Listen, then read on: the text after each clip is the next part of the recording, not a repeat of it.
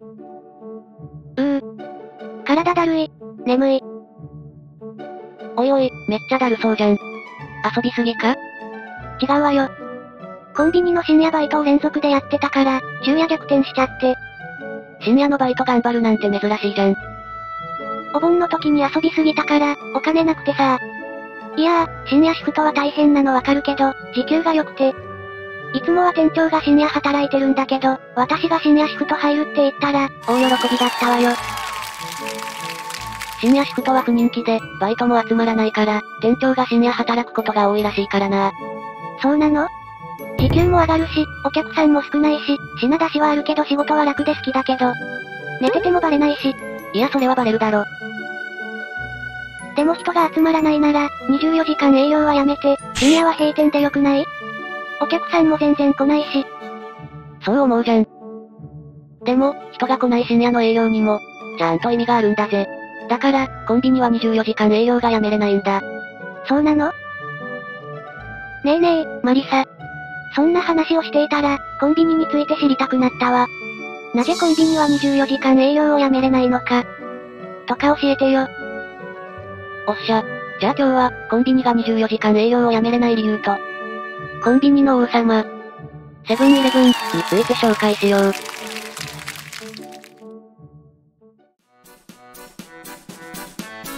早速だけど、レイムはどのコンビニをよく使ってる？うーん、どこだろ？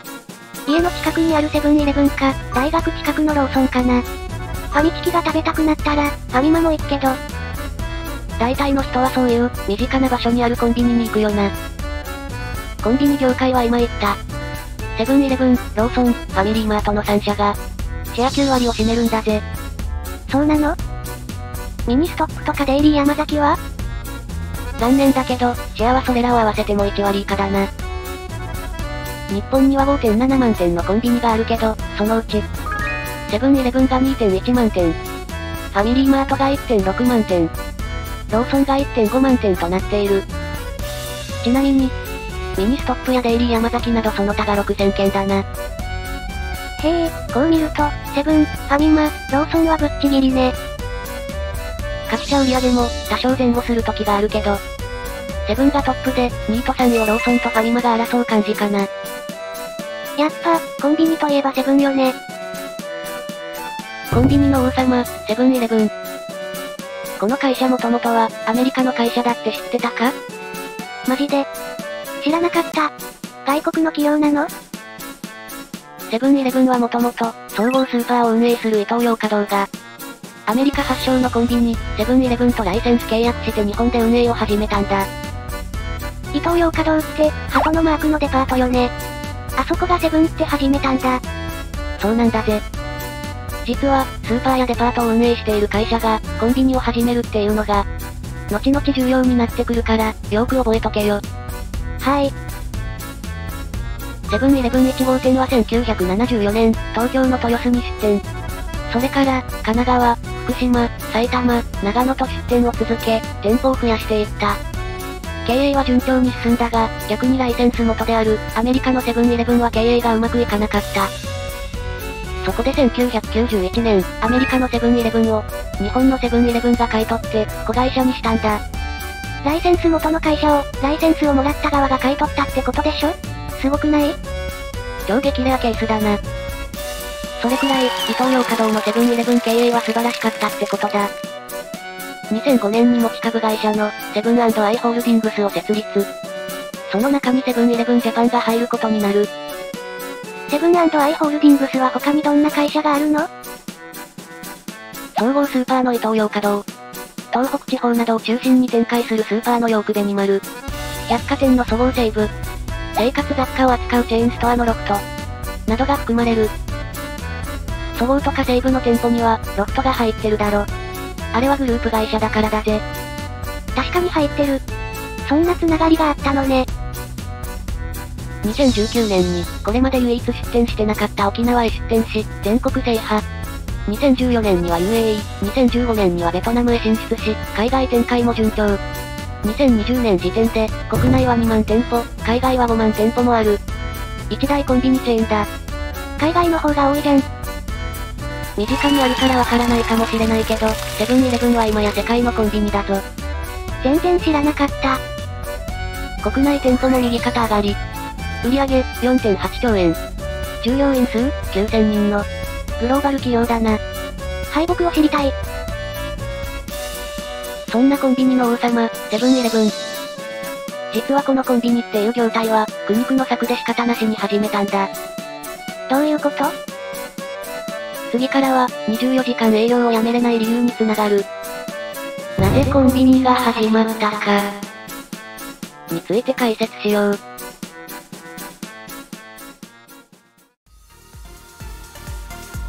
まず結論から言うと、セブンが24時間営業を大々的にやめることはない。ええー。なんで？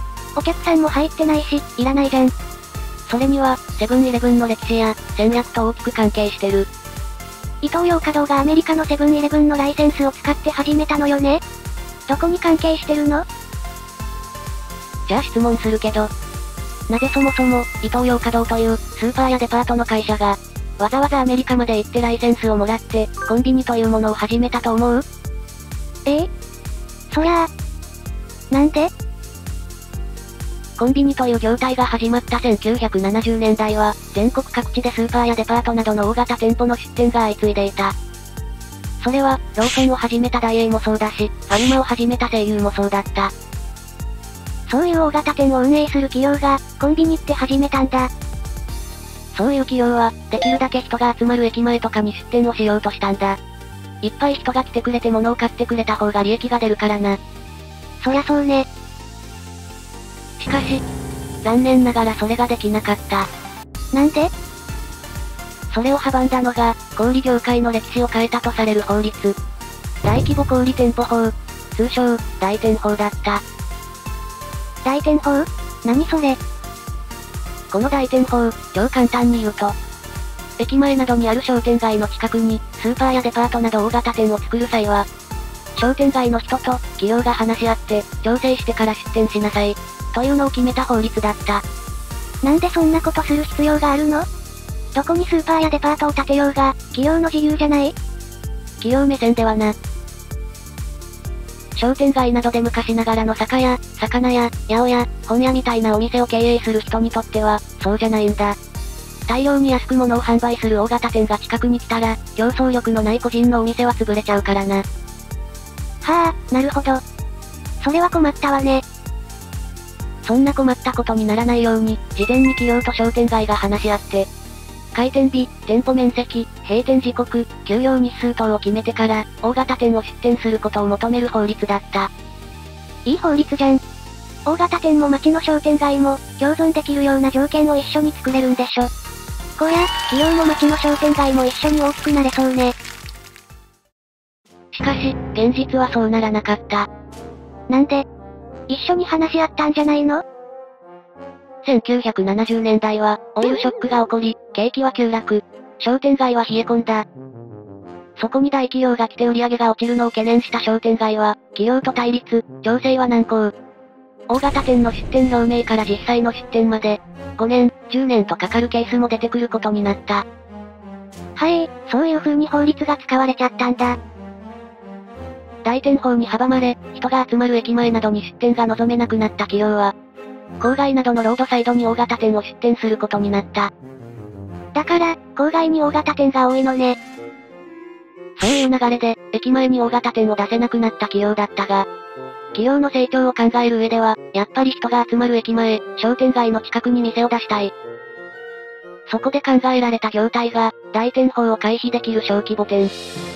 コンビニだった。そういう流れでコンビニができるの？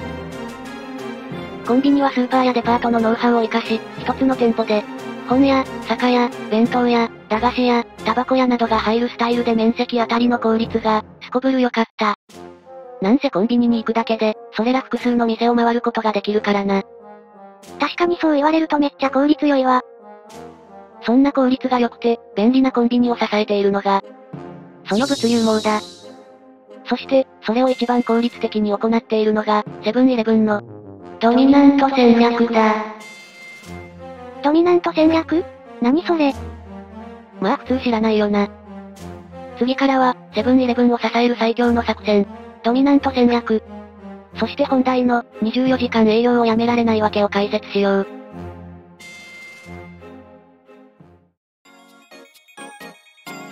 私英語よくわかんないんだけど、ドミナントってどういう意味？ドミナントは英語で、優位なとか、支配的なって意味だな。これはもともと、南関東を地盤とする伊東洋華堂が得意な戦略で、全部のエリアに分散して店を出すんじゃなくて、少ない地域に集中して店を出すっていう戦略だな。少ない地域に、たくさんお店出したら効率悪くない？お店同士でお客の奪い合いになっちゃうじゃん。もちろんそういうデメリットもある。しかし集中して出店することで、地域での認知度が高まる。配送効率が上がる。地域に合わせた広告宣伝ができる。などのメリットもある。そういうメリットもあるのね。この中で特に重要なのが、配送効率が上がる、という点だな。様々なものを売るコンビニで、配送というのは超重要。適切な時間に、品切れが出ないように商品を運ぶのが重要になる。霊夢だって、毎回食べたいお弁当とかおにぎりが売り切れだったら行かなくなるだろ？そりゃそうね。っていうかあんまりコンビニで品切れって見たことないわ。だよな。それぐらいコンビニは品切れをしないように配送をしているんだ。ドミナント戦略で重要な配送。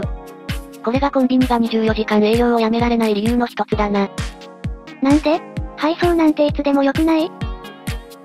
コンビニには、1日に7から8回商品が配送されるが、早朝や午前中に販売する商品というのは、明け方に運ばれてくる。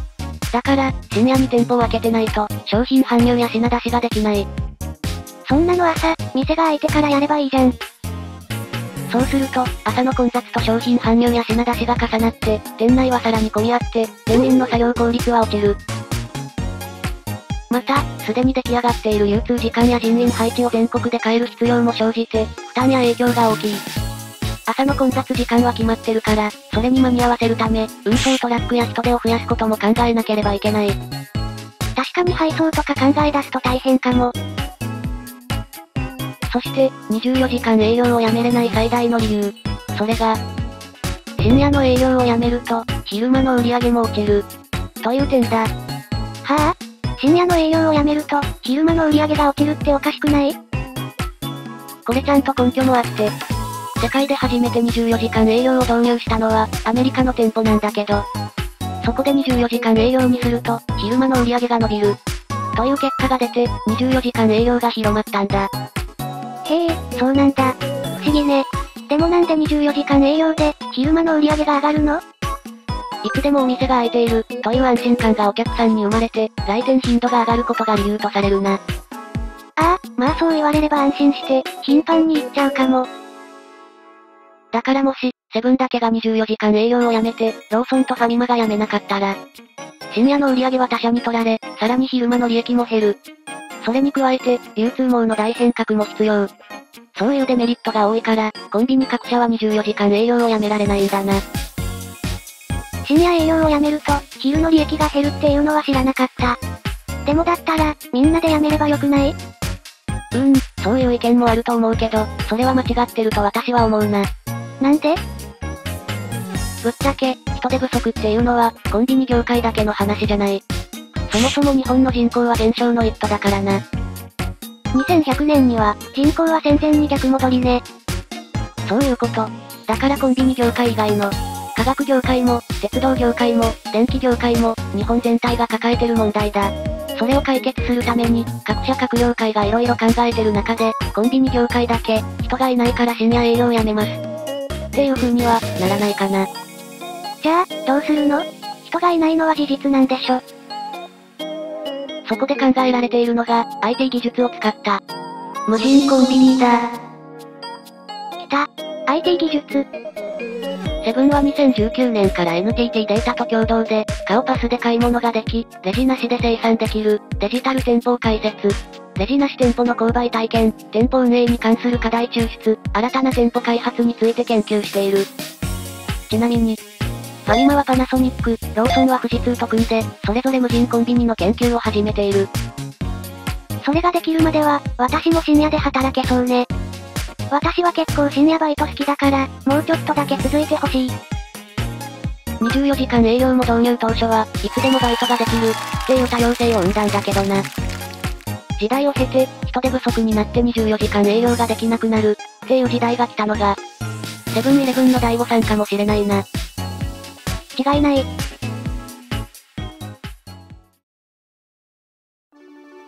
というわけで、コンビニの王様、セブンイレブンと、コンビニが24時間営業をやめれない理由が分かったか？今日分かった。深夜営業なんて人が入らないし意味ないじゃん、って思ってたけど。実はそれが昼間にも影響してるって意外だった。世界の大企業、セブンイレブンがやってることだからな。無駄なことなんて一つもないってことだ。かもね。これでこの動画は以上だぜ。この動画を見て、コンビニに行きたくなったっていう人は、チャンネル登録と高評価をお願いします。よかったら他の動画もチェックしてくれると嬉しいぜ。次回は、